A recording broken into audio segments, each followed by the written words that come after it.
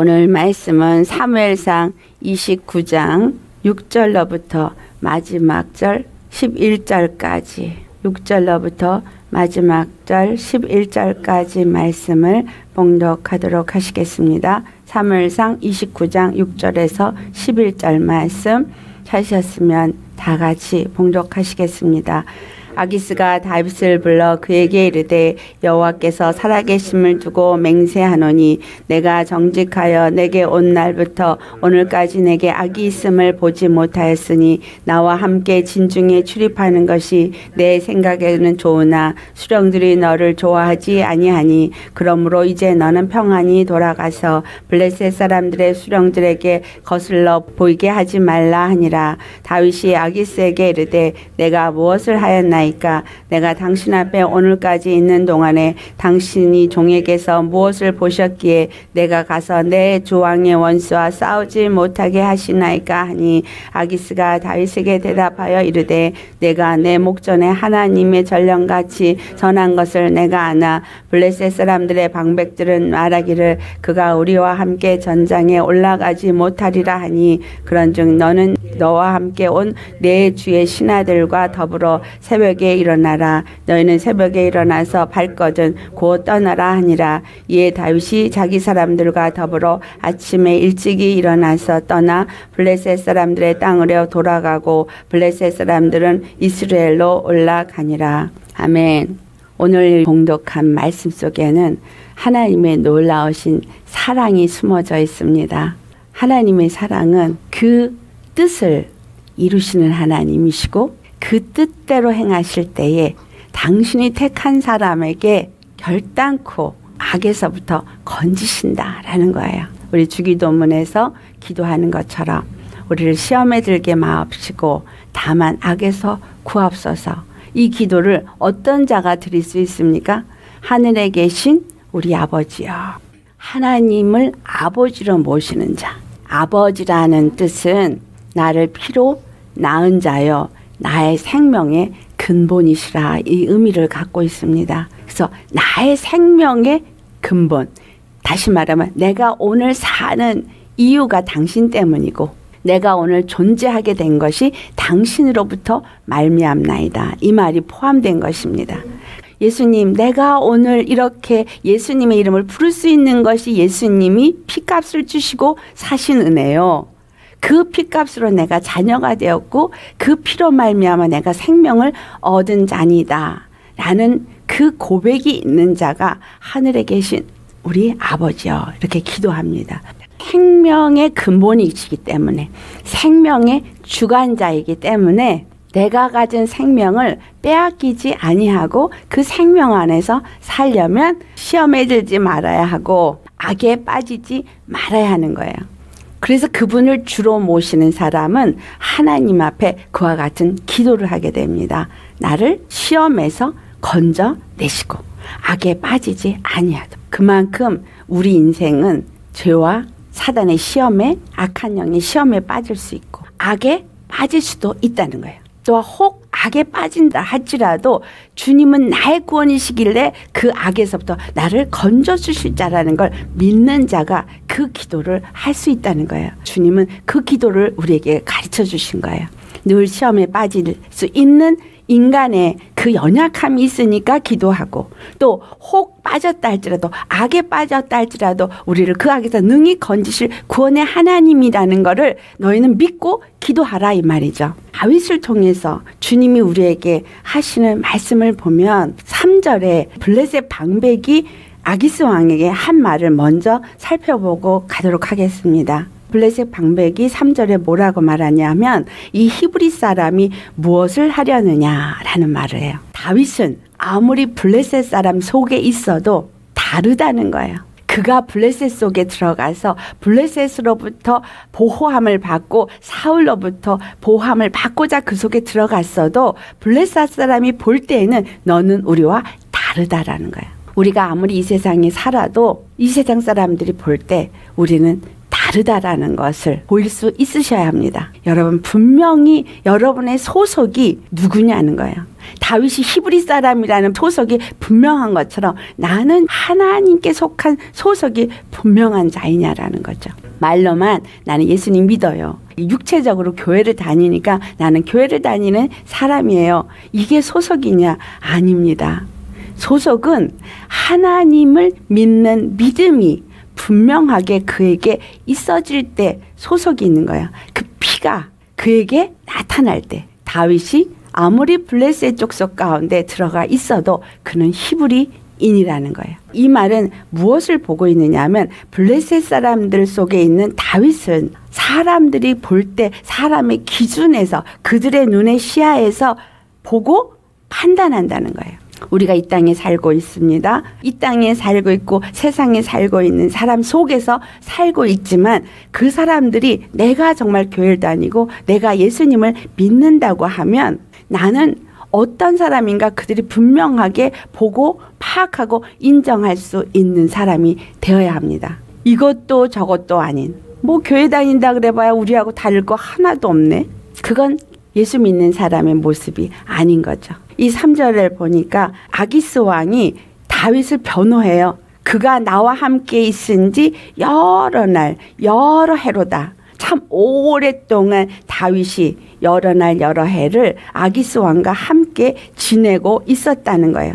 그러면서 그 나는 내가 그의 허물을 보지 못하였다라고 변호할 만큼 다윗은 아기스 왕이 볼 때에 그 행실이 온전하였다 라는 것을 알 수 있습니다. 블레셋 방백이 그를 히브리인이라고 인정하는 것과 또 아기스 왕이 다윗을 볼 때 허물을 찾아볼 수 없다고 말한 만큼 이 땅에 살면서 이 다윗이 행한 것은 그 앞에 온전함을 행했다는 거예요. 똑같이 우리도 이 땅에 살고 있지만 이 땅에서 비록 어떤 사망 권세의 역사 속에서 시달리고 고통당하고 있지만 그러나 우리가 그들에게 보여줘야 하는 것은 무엇이겠느냐라는 거예요. 하나님의 사람이 가진 것은 다른 게 아니에요. 하나님의 의. 아멘. 하나님의 믿음. 그렇죠? 우리가 예수 그리스도를 믿음으로써 의인이 됐어요. 예수님을 믿음으로 의인이 된 거예요. 원래 우리가 의인이 아니죠. 이 속성을 보면 죄인이고 죄악 덩어리입니다. 그런데 이 죄악 덩어리인 우리를 하나님이 그냥 값없이 의롭다 하셨어요. 의롭다 하셨기 때문에 우리 안에서 죄가 있지만 덮어버리신 거예요. 무엇으로? 피로. 피로 덮어버리셔서 나를 의롭다 한 거예요. 그러면 피로 덮여진 상태에서만 의로울 수 있는 거지 피가 덮여지지 않냐고 벗겨진 상태에서는 죄악이 똑같이 드러나는 거죠. 그래서 피로 덮여진다는 건 예수님의 피를 힘입는 믿음의 상태를 의미하고 있는 거죠. 믿음의 상태에 있을 때 그 피가 덮여져서 나는 그 피로 말미암아 하나님을 아바 아버지라 부를 수 있는 자가 되어지고 의롭다함을 얻은 의인이 되어진다는 거예요. 의인은 믿음으로 말미암아 산다고 말한 것입니다. 믿음으로 사는 자는 그 의가 나타나는데 그 의가 무엇이냐면 하나님의 공의예요. 하나님의 공의, 하나님의 공의는 뭐예요?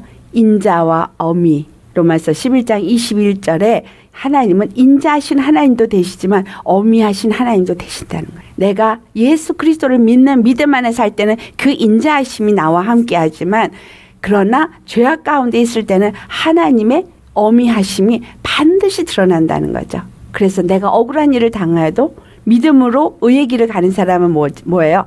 인자와 어미 하나님을 믿는 거예요. 내가 믿음 안에 있으면 주님은 나를 사랑하셔요. 하지만 나에게 불의함을 행한 사람, 나에게 악을 행한 사람, 이 사람에게는 어미가 있다라는 거예요.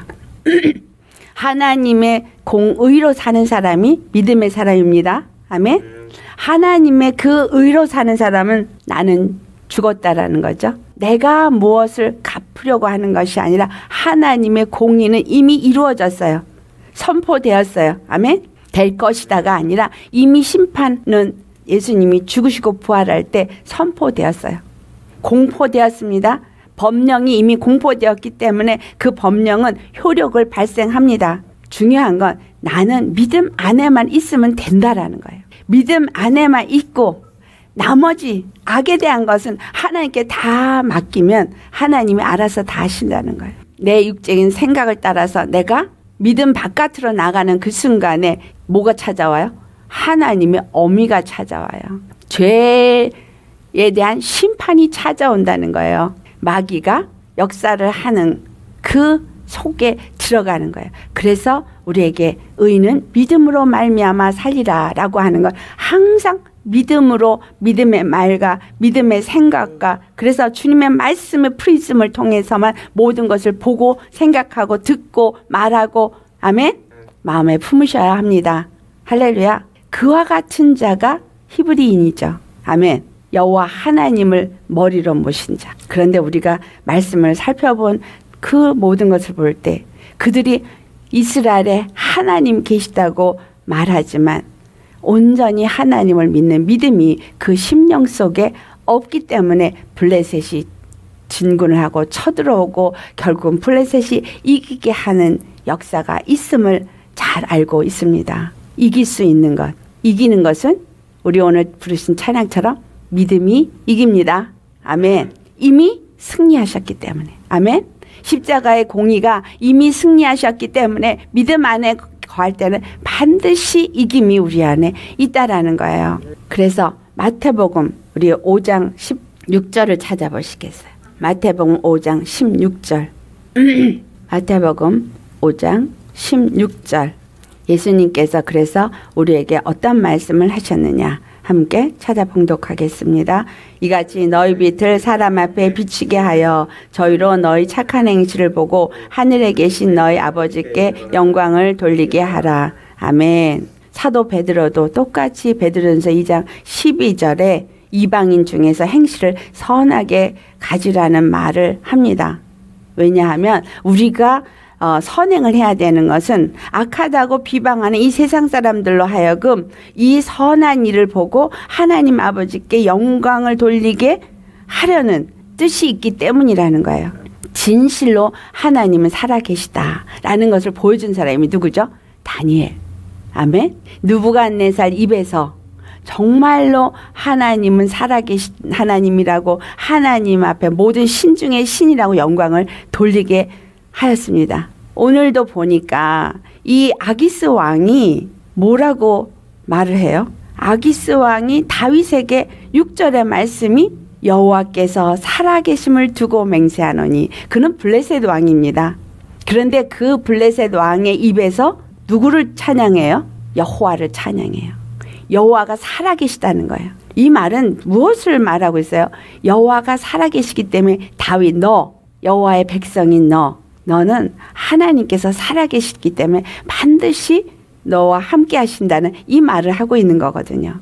하나님을 알지 못하는 블레셋 왕 다기, 아기스 다른 신을 섬기는 블레셋 왕 아기스의 입에서 여호와를 살아 계시다고 말하고 또 그 입술이 여호와의 살아 계심을 두고 맹세한다라고 말하는 이 상황이 바로 누구로부터 말미암았겠느냐라는 거예요. 여호와께로부터 말미암았다라는 거예요. 다윗이 그 아래 있으면서 그 앞에 온전히 행하고 그가 선을 행함으로 인해서 아기스가 볼 때에 그에게서 허물을 찾아볼 수 없을 만큼 그의 모든 행함이 선함을 보였기 때문에 그 하나님을 알지 못하던 아기스 왕도 여호와께서 살아 계시다고 말하더라는 거예요. 하나님 앞에 영광을 돌리게 하는 이 일이 우리의 선한 행함에서부터 말미암는다는 거예요. 그래서 비록 세상 가운데 있는 사람들이 나한테 악을 행하여서 정말 나에게 불의, 불의를 행한다 할지라도 내가 예수 그리스도 믿음 안에 있다면 믿음의 선, 믿음의 사랑, 아멘. 그 안에 내가 있으면 그를 불쌍히 여길 수 있어. 그럴 수 있죠. 그를 궁휼히 여길 수 있어요. 그리고 그가 그렇게 행하는 건 그 안에 있는 죄 때문인 것을 알기 때문에. 아멘. 나도 똑같은 죄인이고, 나도 똑같은 그 죄를 행해왔던 사람이고, 그리고 뭐 별반 다를 게 없는 죄인 거예요. 사람은 다 똑같아요. 사람의 장점과 단점이 서로 다를 뿐이지 도토리 키재기 똑같은데 다만 나는 주님의 은혜를 입어서 죄 없다함을 입은 것이고 그는 주님의 은혜를 입은 것을 알지 못하여서 악을 행하고 있을 뿐이에요. 예수 그리스도의 십자가를 통해서 우리에게 베푸신 은혜는 차별이 없다 그랬어요. 차별이 없는 은혜를 모든 사람에게 주었지만 많은 사람, 모든 사람이 그 의를 입을 수 있는 길을 얻었고 은혜를 입었지만 다만 그거를 내 걸로 하는 사람은 다르다는 거예요. 누가 그것을 내 것으로 하느냐? 믿음으로 나아가기 위해서 그것을 내 것으로 취하여서 믿음 안에 있는 그 의 안에 들어가고자 하는 사람은 그것이 자기 것이 되어지고 그렇지 않은 사람은 하나님의 어미하심에 놓여 있다라는 거예요. 선택은 우리가 하는 겁니다.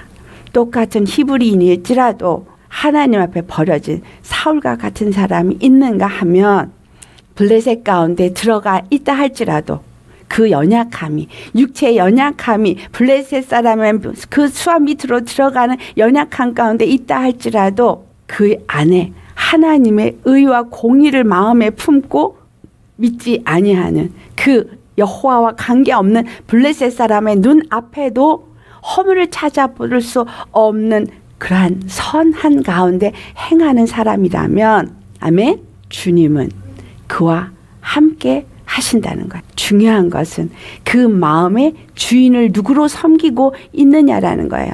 비록 그의 연약함이 블레셋 가운데 들어가 있지만 그의 주인은 여호와이심을 이 다윗은 그의 삶의 행함을 통해서 나타내더라는 거예요.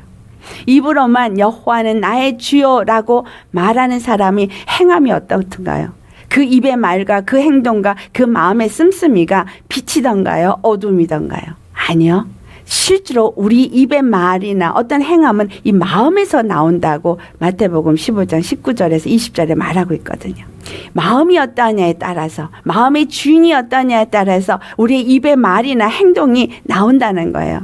허물을 찾아볼 수 없고 정말 그 아기스가 그가 믿는 하나님을 찬양할 만큼 다윗의 온전함은 그 마음 안에 주인은 여호와로 아직도 그가 섬기고 있는 것을 나타내고 있는 것입니다. 그래서 교회에 나가고 안 나가고 이게 중요한 것이 아니라 그 우리 마음의 주인이 예수님이냐 아니냐가 중요하다는 거예요. 교회만 나가고 교회에서만 뭔가 열심히 하는 것 같으나 그 실제로 그 마음의 주인이 예수님이 아니어서 세상에 악한 짓을 행하는 것과 똑같이 악을 행하여서 오히려 하나님이 전파되는 것을 막는 그런 사람은 어떤 사람이에요? 양들 가운데 염소입니다. 우리의 모든 행실을 그들은 본다는 걸 기억하시기를 바랍니다. 보고 그가 정말 세상 가운데 있어도 빛 가운데 행하는지 어두움 가운데 행하는지 빛 가운데 속한 자의 말을 하는지 보신다는 거예요.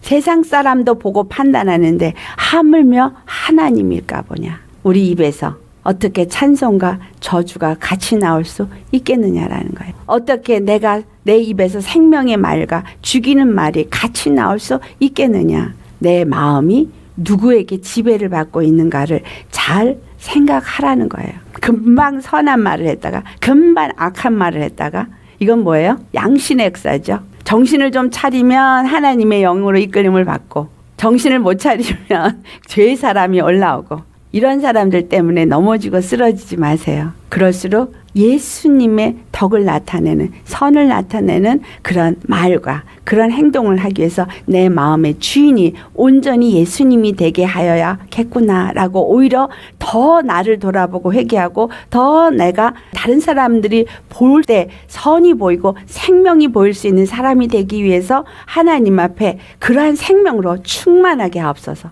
선을 내게서 나타낼 수 있도록 억지로 선을 내려고 가장을 하라는 게 아니에요. 그거는 위선이에요. 내 안에 예수님의 평강과 예수님의 그 궁율하심과 생명의 역사가 있도록 말씀으로 말씀으로 내 안에 믿음으로 믿음으로 더욱더 나를 그리스도께 가까이 나아가는 자가 되어지라는 거죠. 그거를 구하고 구하고 찾고 나아가려고 하다 보면 주님이 단계별로 한 단계 한 단계 나를 채우셔서 신의 성품에 참여하게 됩니다. 신의 성품이 어떻게 돼요? 단계가 있죠. 믿음의 덕을 덕에, 지식을 지식에, 절제를 절제에, 인내를 인내에, 형제외를 형제외 사랑을 주 안에서 한 단계 한 단계 높아갈 때마다 하나님의 시험의 훈련의 과정이 있습니다. 믿음만 있는 것도 아니라 그 다음에 덕을 나타낼 수 있도록 하는 훈련이 필요하고 또 지식을 더하게 하시지만 지식이 더해진다고 교만해지는 게 아니라 지식이 있음으로 인해서 더 어떻게 돼요? 인내하는 말씀 때문에 더 참고 더 인내하고 더 절제하고 아멘 자기를 죽이는 단계가 더 나아갈 수 있게 되는 거예요. 그럴 때는 형제가 어 떠한 일을 할지라도 긍휼력이고 사랑할 수 있는 자가 되어질 때 형제와 화목하게 되죠. 그럴 때 사랑 안에서 우리가 하나가 되어질 수 있습니다. 이 모든 일을 내 안에 오신 성령께서 하신다는 거예요. 내 안에서 오신 성령님이 그 일을 하시도록 내가 믿음 안에 내어드리고 말씀으로 늘 채우는 자가 되셔야 하는 겁니다. 그럴 때 아기스가 이와 같이 다윗을 인정합니다. 그런데 다윗은 어떤 반응을 보여요? 함께 나아가지 못한 것 때문에 8절에 불평을 합니다. 그런데 이것은 어디서부터 말미암은 거예요. 다윗은 자기가 받은 거절감 때문에 분을 냅니다. 그것을 통해서 우리는 두 가지로 볼 수 있겠죠. 여기는 나타나지 않아요. 다윗의 마음이 어떠한지. 그런데 하나는 다윗이 어떤 사람이었어요? 사울이 기름 부음을 받은 이스라엘의 왕이기 때문에 그 옷자락 하나 자른 것도 마음이 아파했던 사람이에요. 기름 부음을 받은 자에게 손을 대기를 원치 않은 사람이었어요. 더욱이 자기와 사랑의 맹세를 한 요나단을 원수로 해서 싸우는 그 전장에 나가는 그 마음이 어떠했겠느냐는 거예요. 정말로 그것이 어쩔 수 없는 상황이 돼서 가슴을 치면서 내가 왜 이 블레셋으로 와서 내가 이와 같은 일을 당하게 되었느냐 가슴을 치면서 밤에 주님 앞에 회개하면서 강구했을지도 모릅니다. 그래서 주님이 그 기도의 응답으로 다윗을 그 전장에서부터 블레셋 방백들이 저가 왜 히브리인이 여기서 뭘 하려고 하느냐 그래서 그 전쟁에서 나아가지 않도록 하는 기도의 응답을 받았을 수도 있어요.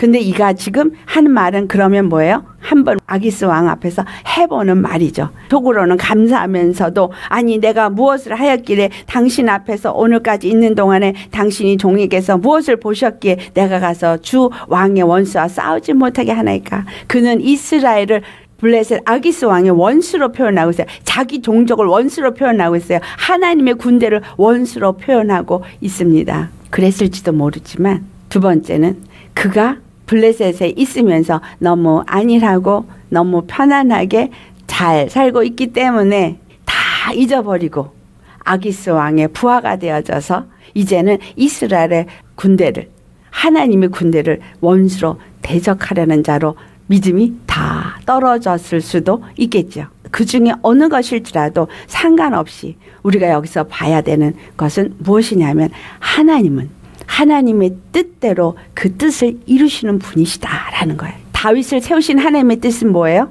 이스라엘의 왕으로 세우고자 그를 지명하여 부르셨다는 거예요. 그를 지명하여 부르셨어요. 그를 이스라엘 왕으로 세우시기 위해서 그를 유다 족속 중에 태어나게 하신 거예요. 그 유다 족속 중에 태어나게 하신 것은 유다 족속 중에 예수님이 오시기 위한 것이 이미 야곱이 그 유다를 향해서 예언의 말을 할 때에 그 말이 다 예언되어졌다 말씀이었다라는 거예요. 하나님의 계획대로 다윗을 세우셨어요. 어제 우리가 말씀했던 것처럼 왜 사울을 끝까지 가게 하자고 다윗을 세우셨느냐는 이제 아시죠? 다윗을 세우신 하나님의 뜻은 그가 비록 육신의 생각을 따라서 블레셋 가운데 들어가고 이와 같았할지라도 그를 이스라엘의 왕으로 세우기 위해서 기름 부음을 받은 사울 왕을 죽이는 것을 원하지 아니하고 원수 갚는 것을 하나님께 맡기고 그리고 기름 부음 받은 자를 해하기를 원치 아니하였던 그 믿음의 마음을 받으시고 또 블레셋 가운데에서도 그가 행함으로 온전하게 하여서 하나님의 이름을 찬양하는 그 모든 것들을 다 보시고 다 아신 하나님 그는 이스라엘이 범죄하지 아니하도록 그를 보호 하셨다는 사실이에요. 우리가 혹 죄의 길에 갈다 할지라도 주님은 내가 부족해서 믿음에서 좀 떨어졌다 할지라도 내가 찾는 것이 예수님이요. 내가 믿는 것이 예수님이요. 예수님이 나의 주인으로 섬기는 마음을 갖고 있다면 반드시 거기서 건져내신다라는 거예요. 반드시 악에서부터 건져내십니다. 아멘. 시험에 드는 상황이 되어질 때 거기서 이길 수 있게끔 도와주신다라는 거예요. 이 말씀이 어디에 있어요? 우리가 비록 믿음이 연약해서 잘못 행한다 할지라도 고린도전서 10장 13절 말씀 같이 봉독합니다. 사람이 감당할 시험 밖에는 너에게 당한 것이 없나니 오직 하나님의 미부사 너희가 감당치 못할 시험 당함을 허락지 아니하시고 시험 당할 즈음에 또한 피할 길을 내사 너희로 능히 감당하게 하시느니라. 아멘. 주님이 우리에게 피할 길을 주시기 때문에 힘들고 고통스럽고 어려운 상황이 놓인다 할지라도 그냥 부르짖으면 돼요. 그냥 열심히 기도하고 간구하고 주님께 부르짖으면 죽을 것 같은 턱걸이하는 그 마지막 순간일지라도 주님은 건져내십니다.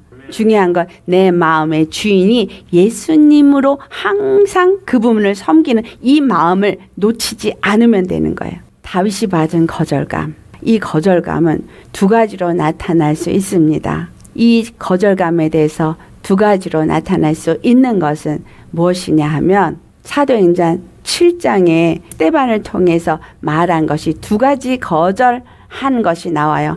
첫째로 나타나는 거절감은 모세가 히브리인들을 구원하기 위해서 자기 의로 뭔가를 행하려고 했을 때 그 일을 했지만 그 사람들이 모세의 마음을 알아줬냐 하면 알아주지 않았어요. 그러면서 오히려 그 히브리인들이 네가 누구냐 누가 너를 관리와 재판장으로 세웠느냐 그렇게 하면서 거절합니다. 같은 히브리인이 히브리인을 구원하려고 했는데 모세를 인정하지 않은 거절감을 받았어요. 그 거절감은 모세를 어떻게 하기 위해서 거절감을 주신 거냐? 그것은 바로 하나님이 모세를 낮추시고 그리고 하나님의 뜻을 이룰 수 있는 자로 세우기 위한 거절감이라는 거예요. 내가 원하는 대로 무엇이 잘 되지 않고 내가 뜻하는 대로 되지 않고 내가 하고자 하는 대로 되지 않는 거절감 우리 얻을 수 있습니다. 그런데 그것이 육적인 생각 속에서 하는 거, 어떤 행위라면 하나님이 그 일을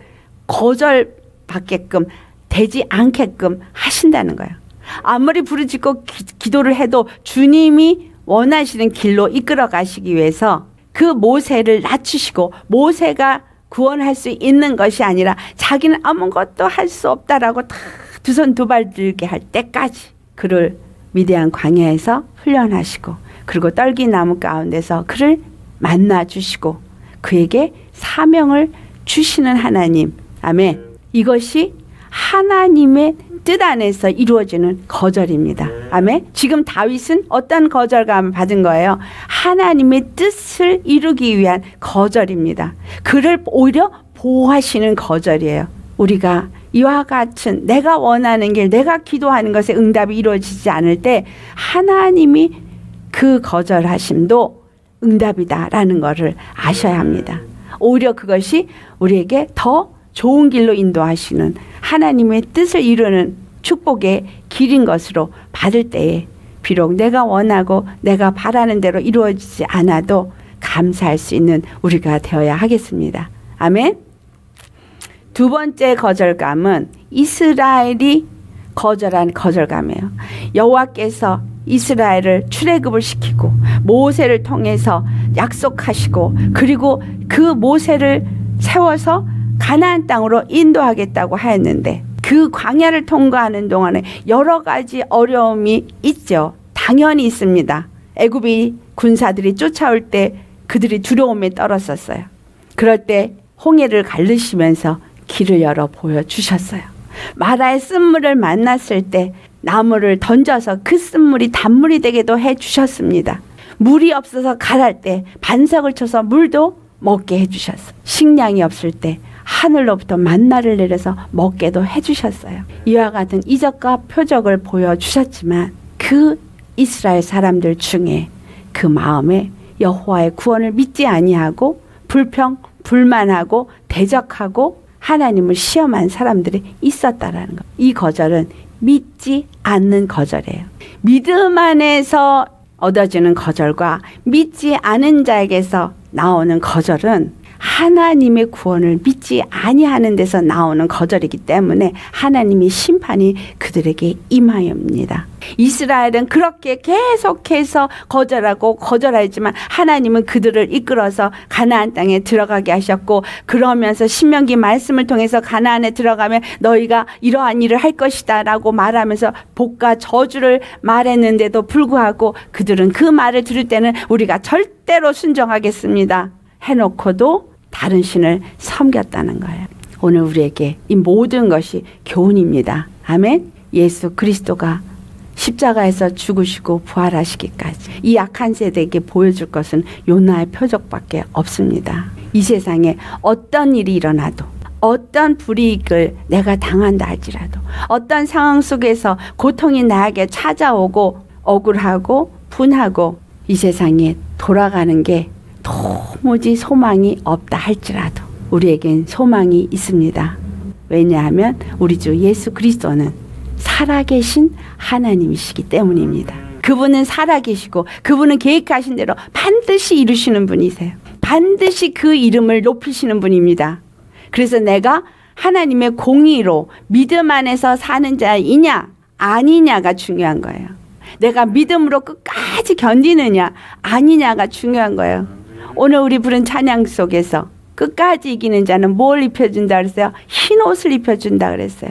끝까지 이기는 자는 흰 옷을 입혀주고 하나님의 은혜를 입어서 영원한 영광에 들어가게 하십니다. 중요한 건 이 시대를 살고 있는 우리는 끝까지 이겨야 한다는 거야. 모든 순간 속에 끝까지 이기는 자. 다른 사람이 잘 나가든 부러워하지 마시고 내가 오늘 믿음 안에서 주님의 평강과 그 생명을 누리느냐 안 누리느냐 믿음으로 모든 것을 이기느냐 안 이기느냐 그게 중요하다라는 거예요.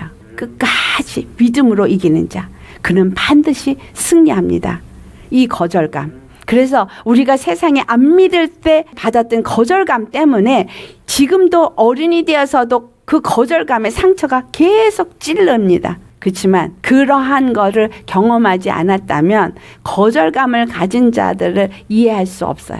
그런 사람을 품을 수도 없습니다. 그래서 내가 어떤 거절감을 경험했다 할지라도 그것으로 인한 상처가 있다 할지라도 주님은 그것을 악을 선으로 바꾸시는 하나님, 상처를 치유하시는 하나님, 그리고 무너진 것을 다시 세우시는 하나님, 우리를 온전케 하시는 하나님이십니다. 믿으십니까? 그러면 절대로 부정적인 생각으로 이 이전의 거절감의 상처에서 온 나는 하나님 사랑 안 하시나 봐. 나는 하나님이 내 기도를 안 들으시나 봐. 하나님이 저 사람은 사랑하고 저 사람만 축복하고 나는 사랑하지 않나 봐. 나는 뭔가 문제가 있어서 그런가 봐. 이런 부정적인 생각 하지 마시기 바랍니다. 주님은 나를 사랑해요. 그 사랑의 표현이 주기까지 자기를 내어 주신 겁니다. 거기 그 사랑엔 차별이 있어요? 없어요? 없습니다. 그러니까 어떤 상처가 있던 어떤 환경에서 자라났던 어디가 얼만큼 뾰족하고 모나고 부족하든 주님은 그게 상관이 없습니다. 나를 사랑하세요. 사랑하시기 때문에 그 사랑으로 입혀주시고 그리고 많은 모나게 된 상처들을 다 치유하시고 그 사랑으로 아름답게 정결하게 거룩하게 그의 신부로 만들기 위해서 이거 저거 내 앞에 두신다라는 거예요. 그때 우리에게 요구되는 것 믿는 믿음입니다. 그분이 이루실 걸 믿고 그분을 의지하고 그분만 바라보면 다윗을 그 죄 짓지 아니하도록 블레셋 방백들을 사용해서 다시 돌아가게 하는 것처럼 주님 안에서 보호받고 죄 가운데서부터 건짐을 받게 된다라는 거예요. 우리는 이렇게 예수님 믿는 사람 되시기를 축원합니다. 우리 주 예수님은 반드시 그 뜻대로 일을 이루시는 분이에요. 의 안에 거한 사람에게는 영생으로 불의 가운데 거하는 자에게는 영멸로 갚으시는 하나님 그 십자가의 공의를 바라보시고 믿고 나아가시되 끝까지 믿고 승리하시기를 예수 이름으로 축원합니다. 기도하시겠습니다. 할렐루야 거룩하신 아버지 이 다윗을 통해서 우리에게 많은 것을 하나하나 가르쳐 주시니 참 감사합니다. 다윗이 히브리인이기 때문에 분명하게 그가 어떤 자인지를 드러낸 것처럼 그의 행함을 보고 아기스 왕이 하나님을 살아계신 하나님으로 인정하고 하나님을 찬양한 것처럼 주님 우리가 예수 그리스도를 믿는 자로서 이 땅 가운데 믿는 자의 모습을 볼 수 있게 하여 주시옵소서. 우리 안에 오직 예수님이 전부가 되게 하시고 예수님의 생명으로 충만하게 하시고 예수님의 그 영으로 인도받는 자가 되게 하여 주옵소서. 말씀이 늘 우리 생각과 마음을 지배하고 그래서 우리 안에 오직 예수님만이 우리의 주가 되어 주시고 하나님의 영의 이끌림을 받아서 우리 입에서는 오직 주님의 살아서 역사하시는 생명의 말씀만 나타나게 하시고 생명의 향기만이 바래질 수 있게 하여 주옵소서.